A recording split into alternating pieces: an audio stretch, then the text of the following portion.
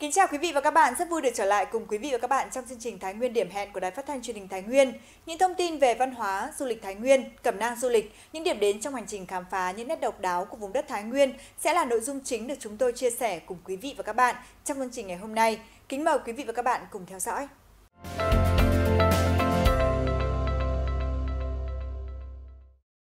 Quý vị và các bạn thân mến, thực hiện chỉ đạo của Thủ tướng Chính phủ về phát triển du lịch toàn diện, nhanh, bền vững với phương châm sản phẩm đặc sắc, dịch vụ chuyên nghiệp, thủ tục thuận tiện và đơn giản, giá cả cạnh tranh, môi trường vệ sinh sạch và đẹp, điểm đến an toàn, văn minh và thân thiện.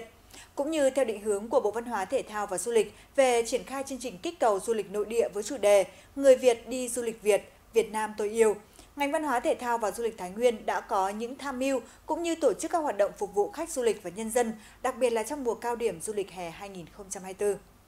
Từ ngày 27 tháng 4 đến ngày 1 tháng 5 năm 2024,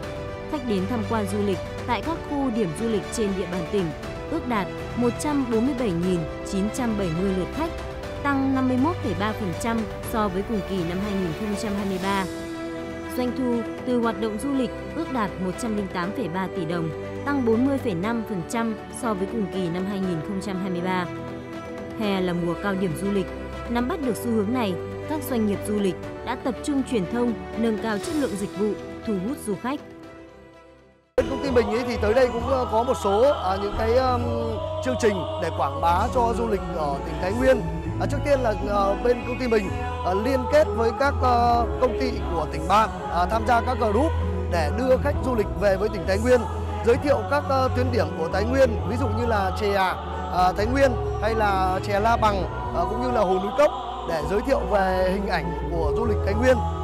À, ngoài ra thì uh, bên mình ý còn uh, đang uh, liên kết với uh, các uh, công ty du lịch ở dưới uh, phố cổ Hà Nội uh, để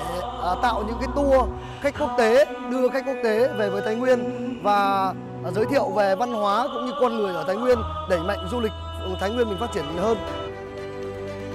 Thái Nguyên luôn xác định việc phát triển du lịch gắn với văn hóa trà là một trong những nhiệm vụ trọng tâm của đề án phát triển du lịch tỉnh Thái Nguyên giai đoạn 2021-2025, định hướng đến năm 2030. Trong đó, tỉnh đã và đang tập trung xây dựng 4 dòng sản phẩm du lịch đặc trưng có thế mạnh, gồm du lịch văn hóa tâm linh lịch sử về nguồn, du lịch sinh thái nghỉ dưỡng, du lịch cộng đồng nông thôn, du lịch thể thao, khám phá hang động mạo hiểm. Mùa du lịch năm nay, Thái Nguyên phấn đấu trở thành một điểm đến an toàn, thân thiện, bản sắc, hấp dẫn và ấn tượng. Các hoạt động kích cầu được triển khai trong mùa hè 2024 sẽ góp phần thu hút, tăng thêm các giá trị trải nghiệm, dịch vụ tặng kèm để đáp ứng nhu cầu ngày càng đa dạng của du khách. Qua đó, tăng hiệu ứng truyền thông, lan tỏa hình ảnh, điểm đến du lịch Thái Nguyên.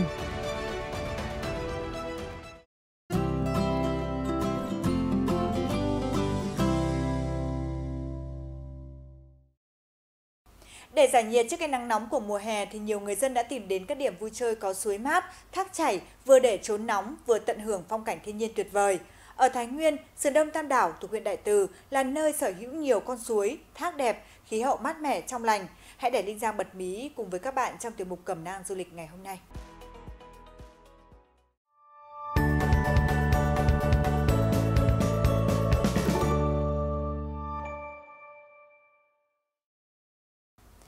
Vị và các bạn, Thái Nguyên tự hào là mảnh đất giàu truyền thống văn hóa, nơi sinh sống đan xen của 51 trên 54 dân tộc anh em. Các dân tộc đã gìn giữ và phát huy được những giá trị văn hóa, lễ hội truyền thống đặc sắc, các di sản văn hóa của tỉnh Thái Nguyên được ghi danh vào danh mục quốc gia, quốc tế đã và đang trở thành yếu tố cốt lõi để phát triển sản phẩm du lịch văn hóa, tạo nên sức hấp dẫn riêng biệt của Thái Nguyên.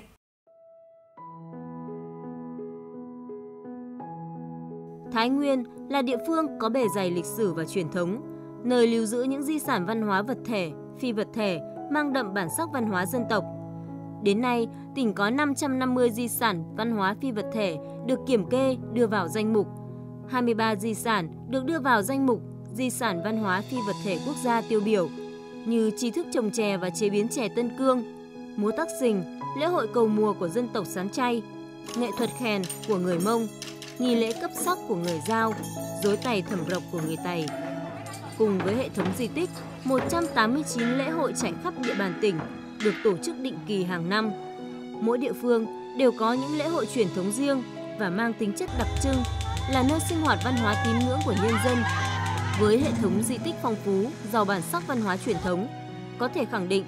Thái Nguyên là địa phương có tiềm năng phát triển du lịch gắn với di tích, di sản văn hóa. Lịch sử văn hóa gắn với lại à, những cảm xúc của con người. Khi đi du lịch thì cái cảm xúc đấy rất là quan trọng nó chạm vào những cái điểm chạm mà không chỉ phụ huynh học sinh à, và tất cả những người lớn những người yêu tổ quốc à, yêu quê hương yêu cảnh đẹp của đất nước đều phải hiểu được văn hóa lịch sử quê nhà. Và chúng tôi rất là muốn mời gọi tất cả các bạn ở gần xa đến với Thái Nguyên đến với sự trải nghiệm của lịch sử văn hóa ở đây. À, người lớn kể cả các bạn học sinh và cả khách trong nước và quốc tế bạn bè hãy đến với Thái Nguyên đến với trải nghiệm những thú vị như này không thể bỏ qua trong địa chỉ du lịch của chính mình. Thông qua việc triển khai các đề tài, dự án, nhiều di sản văn hóa phi vật thể của các dân tộc trên địa bàn tỉnh đã được phục dựng, bảo tồn, phục vụ nhu cầu sinh hoạt văn hóa tín ngưỡng của nhân dân, đồng thời tạo điểm nhấn về sản phẩm du lịch văn hóa của tỉnh. Thông qua mô hình xây dựng làng văn hóa, nhiều giá trị truyền thống về kiến trúc nhà sàn, tập quán lao động sản xuất, làn điệu dân ca, dân vũ đã được bảo tồn, phục dựng. Xác định uh,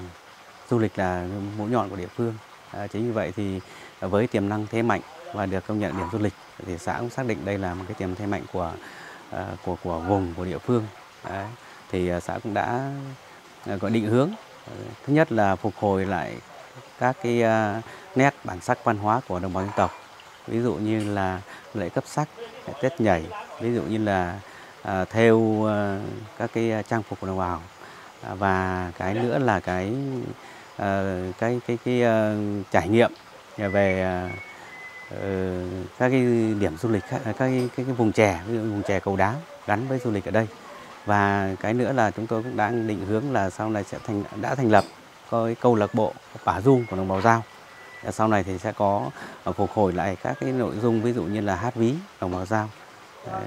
Để cho du khách đến đây có thể trải nghiệm xác định vai trò của di sản văn hóa đối với quá trình phát triển, biến các di sản văn hóa trở thành nguồn lực văn hóa quan trọng, thúc đẩy sự phát triển bền vững, trong đó có phát triển du lịch. Ngành văn hóa thể thao và du lịch sẽ tiếp tục tham mưu xây dựng thể chế, chính sách, nguồn lực, phát huy giá trị bản sắc văn hóa con người Thái Nguyên với ba định hướng: văn hóa trở thành nguồn lực, động lực phát triển,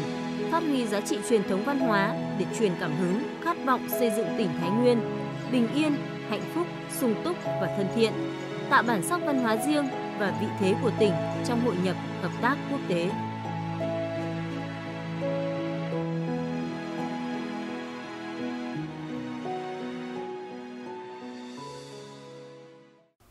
Đến đây thì thời lượng của chương trình Thái Nguyên điểm hẹn xin được kết thúc. Cảm ơn quý vị và các bạn đã quan tâm theo dõi. Xin kính chào tạm biệt và hẹn gặp lại.